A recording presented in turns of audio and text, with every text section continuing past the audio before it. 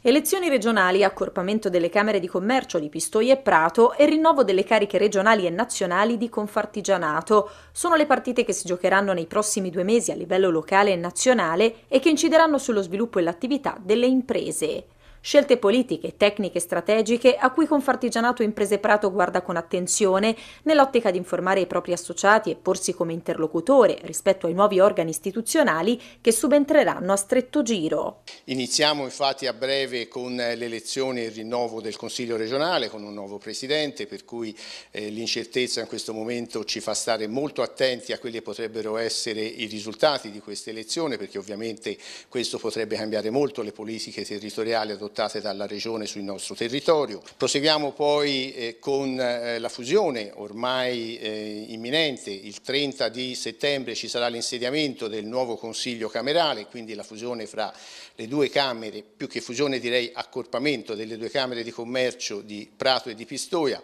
Proseguiamo poi con quelli che sono gli interessi prettamente veramente eh, legati al nostro sistema associativo e cioè il rinnovo eh, della dirigenza a livello nazionale, è stata individuata la data del 3 di dicembre dove terminerà il mandato di Giorgio Merletti e sarà eh, insediato e nominato un nuovo presidente che condurrà per il prossimo quadriennio tutto il sistema associativo. Immediatamente prima di quello dovrebbe svolgersi eh, invece anche il rinnovo delle cariche a livello regionale, quindi un'associazione che è ben attenta e che è soprattutto presente su tutti quei tavoli dove si deciderà eh, non soltanto le sorti di quelle che saranno le strategie sul, da adottare sui vari territori, ma anche dove si deciderà l'indirizzo di quello che sarà il futuro non solo del sistema associativo, ma anche del comparto produttivo. Una fase di grandi cambiamenti su cui pesa anche la delicata emergenza sanitaria legata al Covid, che potrebbe determinare nuovi scenari già dal prossimo inverno. Intanto si pensa all'imminente fusione delle Camere di Commercio pratese e pistoiese, un passaggio che secondo Confartigianato porterà benefici in termini di razionalizzazione del lavoro e omogeneizzazione delle interpretazioni normative. La sede di Prato rimarrà a Prato normalmente, la sede di Pistoia rimarrà a Pistoia, quindi ci saranno funzioni che saranno adempiute normalmente, soprattutto in un momento come questo con il Covid che ci ha visto eh, protagonisti anche di una rivoluzione digitale in qualche maniera. Uno degli elementi che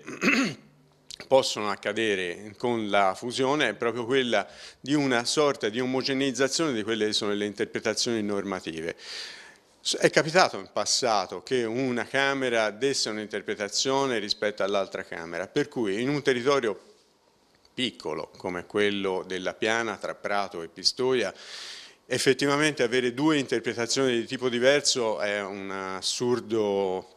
in termini. Questa cosa ci porterà sicuramente anche dei benefici in termini normativi. Sicuramente questa fusione si porta dietro anche anni e anni di collaborazione che abbiamo avuto con eh, le associazioni di Pistoia, per cui non ci preoccupa assolutamente l'accorpamento. Siamo talmente sicuri che eh, il lavoro svolto in tutti questi anni di concerto, insieme, fianco a fianco, si svilupperà ulteriormente anche per il futuro.